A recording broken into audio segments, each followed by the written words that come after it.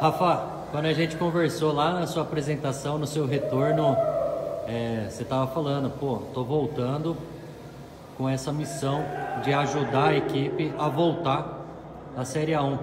Qual é o seu sentimento agora, conseguindo concretizar essa primeira missão aí? É, sentimento de dever cumprido, né? Um dos meus motivos de ter aceito o convite de voltar para o São Bernardo e participar desse, desse projeto foi justamente porque eu tinha esse peso comigo, sabe?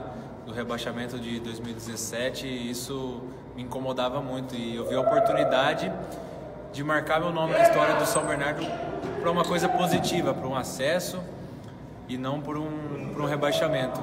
E hoje, graças a Deus, nós conseguimos aí, com muita luta, com muito sacrifício, uh, devolver o São Bernardo no lugar que ele merece e que essa torcida apaixonada merece. Então, é um presente para vocês desfrutar o ano que vem do São Bernardo novamente na Série A.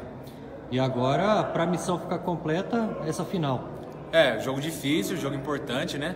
A gente sabe que, que é uma equipe muito qualificada do outro lado. O primeiro, o primeiro objetivo, que era o acesso, nós conquistamos hoje e vamos em busca do, do título do, da Série 2. Valeu!